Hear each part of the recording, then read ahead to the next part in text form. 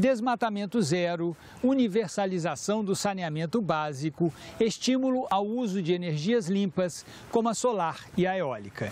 Nesse final de semana de eleições gerais, o Ecosenado traz para você um resumo dos principais desafios na área ambiental que serão enfrentados pelo próximo presidente da República e pelos parlamentares eleitos.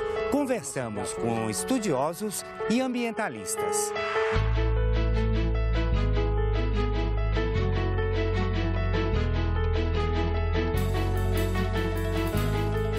Agenda ambiental é por demais complexa.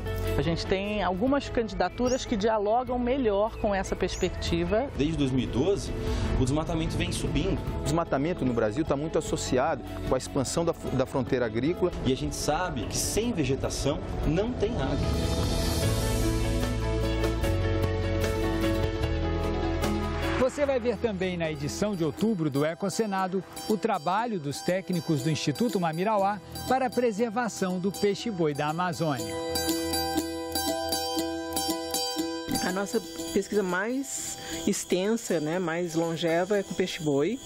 E nós fazemos assim praticamente tudo, desde anatomia, morfologia, osteologia até a parte que eu acho que é mais importante para a conservação, que é, é, dinâmica populacional, né? E nós fazemos também ao longo do tempo muito trabalho com é, levantamento de eventos de caça, para saber se a caça ainda existe na região e em que níveis, né? E por quem ela é realizada.